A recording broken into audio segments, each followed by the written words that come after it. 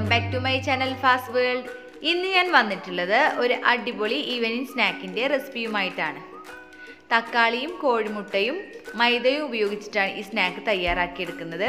വളരെ പെട്ടെന്ന് തന്നെ തയ്യാറാക്കിയെടുക്കാൻ പറ്റുന്ന ഒരു അടിപൊളി സ്നാക്കാണ് നിങ്ങൾ ആദ്യമായിട്ടാണ് എന്റെ ചാനൽ കാണുന്നതെങ്കിൽ ദയവ് ചെയ്തിട്ട് ഒന്ന് സബ്സ്ക്രൈബ് ചെയ്യുക. ഒപ്പം തൊട്ടടുത്തുള്ള കുഞ്ഞ് ബെല്ലൈക്കണിൽ ഓൾ തന്നെ പ്രസ് ചെയ്യാനായിട്ടും മറക്കരുത്. ഇതുണ്ടാക്കുന്നതിന് വേണ്ടിയിട്ട് ഞാനിവിടെ ഒരു തക്കാളി എടുത്തിട്ടുണ്ട്.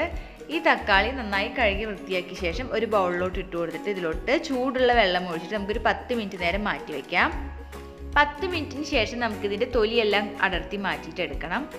തൊലിയെല്ലാം അടർന്നു വരുന്നതിന് വേണ്ടിയിട്ടാണ് നമ്മൾ ചൂടുവെള്ളത്തിൽ ഇട്ട് വെക്കുന്നത്. ഇനി അതിന്റെ തൊലിയെല്ലാം നന്നാക്കി അടർത്തി മാറ്റി എടുത്തിട്ടുണ്ട്. ഇനി നമുക്ക് ഇതുപോലെ ഇത് ചെറുതാക്കി ഒന്ന് അരിഞ്ഞ് വെള്ളത്തോട് കൂടിയിട്ട് തന്നെ എടുക്കണം.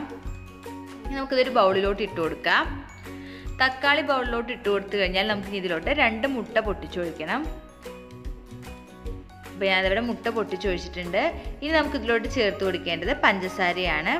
മധുരത്തിന് ആവശ്യമായിട്ട് ഞാൻ മൂന്ന് ടേബിൾ സ്പൂൺ പഞ്ചസാരയാണ് ചേർക്കുന്നത്. നിങ്ങൾക്ക് മധുരം കൂടുതൽ വേണമെങ്കിൽ അതിനനുസരിച്ച് കൂട്ടുകയോ കുറയ്ക്കുകയോ ചെയ്യാം. പഞ്ചസാര കൂടി ചേർത്ത് കഴിഞ്ഞാൽ നമുക്ക് ഇതിലോട്ട് മൈദയാണ് ചേർക്കേണ്ടത്. ഞാനിപ്പോൾ ഇവിടെ ഒരു കപ്പ് അളവിൽ മൈദയാണ് എടുത്തിട്ടുള്ളത്. നമുക്ക് ഇത് കുറച്ചും കൂടിയും കൂടുതൽ ആവശ്യമായിട്ട് വരും. അത് കുഴയ്ക്കുന്നതിനനുസരിച്ച് നമുക്ക് കൂട്ടി കൊടുക്കാം ഇനി ഇതിലോട്ട് ചേർത്ത് കൊടുക്കേണ്ടത് കറുത്ത എള്ളാണ്. കറുത്ത എള്ളും ആവശ്യത്തിനുള്ള ഉപ്പും കൂടി ചേർത്ത ശേഷം നമുക്ക് കൈവച്ച് ജസ്റ്റ് ഒന്ന് മിക്സ് ചെയ്ത് കൊടുക്കാം. ഞാൻ മിക്സ് ചെയ്തെടുത്ത ശേഷം ഞാൻ ഇതിലോട്ട് ചേർക്കുന്നത് മൂന്ന് ടേബിൾ സ്പൂൺ ഓയിൽ കൂടിയാണ്. ഓയിൽ കൂടി ചേർത്ത ശേഷം നമുക്കിത് നന്നായിട്ടൊന്ന് കുഴച്ചെടുക്കണം. കുഴച്ചെടുക്കുമ്പോൾ നമുക്കിതിലോട്ട് ആവശ്യത്തിനുള്ള മൈദ ചേർത്ത് കൊടുക്കാം. എനിക്കിപ്പോൾ ഇത് നന്നായിട്ട് കുഴച്ചെടുക്കാനായിട്ട് ഏകദേശം രണ്ട് കപ്പ് അളവിൽ മൈദ വന്നിട്ടുണ്ട്. ആദ്യം എടുത്ത ഒരു കപ്പിന് പുറമെ ഒരു കപ്പ് കൂടി ഞാൻ ഇതിലോട്ട് എടുത്തിട്ടുണ്ട്. ഇത് ഞാൻ നന്നായിട്ട് ഇവിടെ കുഴച്ചെടുത്തിട്ടുണ്ട്. ഇനി നമുക്ക് കൗണ്ടർ ടോപ്പിൽ കുറച്ച് മൈദ തൂവിയ ശേഷം ഇത് നന്നായിട്ടൊന്ന് പരത്തിയെടുക്കണം. ഇത് റെസ്റ്റ് ചെയ്യാൻ വെക്കേണ്ട ആവശ്യമൊന്നുമില്ല. നമുക്ക് കുഴച്ച് വെച്ച ഉടനെ തന്നെ ഇത് പരത്തിയെടുക്കാം. ഇതുപോലെ എത്രത്തോളം നമുക്ക് നന്നായിട്ട് പരത്താൻ സാധിക്കുമോ അത്രത്തോളം നന്നായിട്ട് പരത്തണം. അധികം കനം കുറയ്ക്കാതെയും നല്ല തിക്കിലും അല്ലാതെ വേണം നമ്മളിത് പരത്തിയെടുക്കാനായിട്ട്. ഇനി അത് നന്നായിട്ട് ഇതവിടെ പരത്തി എടുത്തിട്ടുണ്ട് ഇനി നമുക്കിത് ഏത് ഷേപ്പിൽ വേണമെങ്കിലും കട്ട് ചെയ്തെടുക്കാം. ഞാനിപ്പോൾ ഇത് കത്തി ഉപയോഗിച്ച് ഇങ്ങനെ നീളനെ ഒന്ന് വരഞ്ഞു കൊടുക്കുകയാണ്. ഇതുപോലെ ഫുള്ളായിട്ട് നമുക്ക് വരഞ്ഞെടുക്കാം.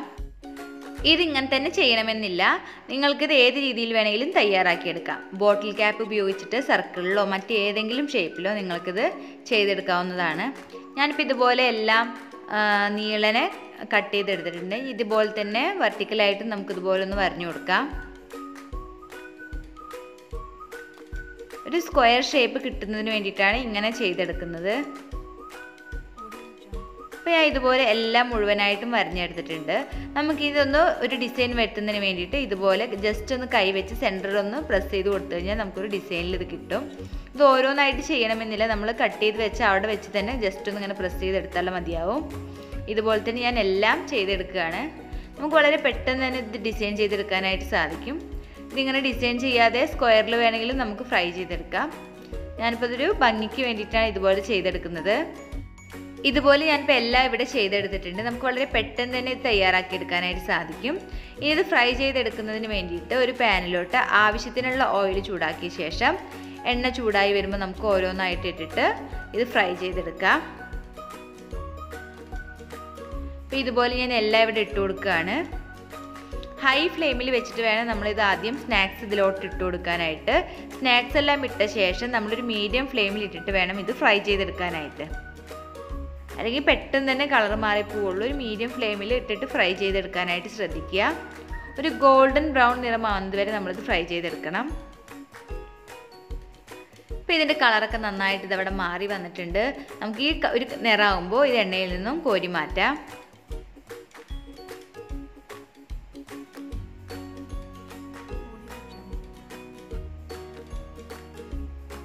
അപ്പോൾ ഞാൻ ഇതുപോലെ തന്നെ എല്ലാം എണ്ണയിൽ നിന്നും കോരി മാറ്റുന്നുണ്ട്. ഈ ഒരു രീതിയിൽ തന്നെ നമുക്ക് ബാക്കി എല്ലാം ഫ്രൈ ചെയ്തെടുക്കാം. നമുക്ക് വളരെ പെട്ടെന്ന് തന്നെ തയ്യാറാക്കിയെടുക്കാൻ പറ്റുന്ന ഒരു അടിപൊളി ഈവനിങ് സ്നാക്കാണിത്. കുട്ടികൾക്കെല്ലാം വളരെ ഇഷ്ടപ്പെടും. കട്ടൻ ചായയുടെ കൂടെയൊക്കെ കഴിക്കാനായിട്ട് വളരെ ടേസ്റ്റി ആയിട്ടുള്ള റെസിപ്പിയാണ്. ഇപ്പോൾ മഴക്കാലമൊക്കെ അല്ലേ? അപ്പോൾ ചായയൊക്കെ കുടിക്കുമ്പോൾ നമുക്ക് എന്തെങ്കിലുമൊക്കെ കഴിക്കാനായിട്ട് തോന്നും. അപ്പോൾ വളരെ പെട്ടെന്ന് തയ്യാറാക്കിയെടുക്കാൻ പറ്റുന്ന ഒരു അടിപൊളി റെസിപ്പിയാണ് അപ്പോൾ തക്കാളിയൊക്കെ ഉപയോഗിച്ചിട്ട് ഇതുപോലെ ഒരു സ്നാക്ക് തയ്യാറാക്കുക എന്ന് വെച്ചാൽ നല്ല രസമല്ലേ അപ്പോൾ എല്ലാവരും ഇതുപോലൊന്ന് തയ്യാറാക്കി നോക്കണം. അപ്പോൾ നമ്മുടെ സ്നാക്സ് എല്ലാം ഇവിടെ റെഡി ആയിട്ട് വന്നിട്ടുണ്ട്. നമുക്ക് എല്ലാം എണ്ണയിൽ നിന്നും കോരി മാറ്റാം. അപ്പോൾ എല്ലാവരുടെ വീട്ടിലും തക്കാളിയും മുട്ടയും മൈദയൊക്കെ ഉണ്ടാവും. അപ്പോൾ എല്ലാവരും ഇതുപോലെ ഒരു സ്നാക്ക് തയ്യാറാക്കി നോക്കണം. നമുക്ക് ഉഷാറായിട്ട് വളരെ പെട്ടെന്ന് തയ്യാറാക്കിയെടുക്കാൻ പറ്റുന്ന ടേസ്റ്റി ആയിട്ടുള്ള ഒരു സ്നാക്കാണിത് അപ്പോൾ എല്ലാവരും തയ്യാറാക്കി നോക്കിയ ശേഷം നിങ്ങളുടെ ഫീഡ്ബാക്ക്സ് കമൻസിലൂടെ എന്നെ അറിയിക്കാനായിട്ട് മറന്നു പോകരുത് നിങ്ങൾക്ക് എന്റെ വീഡിയോ ഇഷ്ടമായെങ്കിൽ നിങ്ങളുടെ ഫ്രണ്ട്സും റിലേറ്റീവ്സും ഈ വീഡിയോ കാണണമെന്ന് ആഗ്രഹമുള്ളവർ തീർച്ചയായിട്ടും ഷെയർ ചെയ്യാനായിട്ട് മറക്കരുത്. ഒപ്പം തന്നെ സബ്സ്ക്രൈബ് ചെയ്യാനും ലൈക്ക് ചെയ്യാനും മറന്നു പോകരുത് ഇനി അടുത്തൊരു കാണുന്നത് വരെ ബായ് താങ്ക്സ് ഫോർ വാച്ചിങ്